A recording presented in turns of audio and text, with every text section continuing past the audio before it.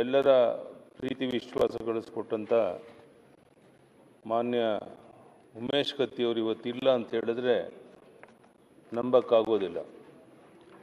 Congress, J D S, B J P ಎಲ್ಲ ಪಕ್ಷಗಳಲ್ಲೂ ಆತ್ಮೀಯ ಸ್ನೇಹಿತರಿದ್ದರು ಅವರು ದೈವಾಧೀನರಾದಾಗ ರೇವಣ್ಣವರು, ಸಿದ್ದರಾಮಯ್ಯನವರು ನಾವೆಲ್ಲ ಅಲ್ಲೇ ಇದ್ದು ಗಂಟೆಗಟ್ಟಲೆ ಬಹುಶಃ ನಾವು ಇಷ್ಟು ಬೇಗ ಉಮೇಶ್ ಕತ್ತಿ ಅಂತ ಏಳು ಬಾರಿ ಶಾಸಕರಾಗಿ ಸೇವೆ ಮಾಡಿದಂಥ ಹಿರಿಯ ವ್ಯಕ್ತಿಯನ್ನು ಕಳ್ಕೊತೇವೆ ಅಂತ ನಾವು ಯಾರೂ ಭಾವಿಸಿರಲಿಲ್ಲ.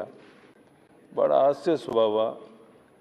ಯಾವುದಕ್ಕೂ ಸಹ ಇಂಥ ಕೆಲಸ ಆಗಬೇಕು ಅಂತ ದೂರವಾಣಿ ಮೂಲಕ ಸಂಪರ್ಕ ಮಾಡಿದ್ರೆ ಕೆಲಸ ಮಾಡಿ ಆಗಿದೆ ಯಡಿಯೂರಪ್ಪನವ್ರೆ ಅಂತ ವಾಪಸ್ ಹೇಳ್ತಾ ಇದ್ರು. ಇದು ಕೇವಲ ನನಗಲ್ಲ, ಎಲ್ರಿಗೂ ಆಗಿರುವಂಥ ಅನುಭವ ಇದು.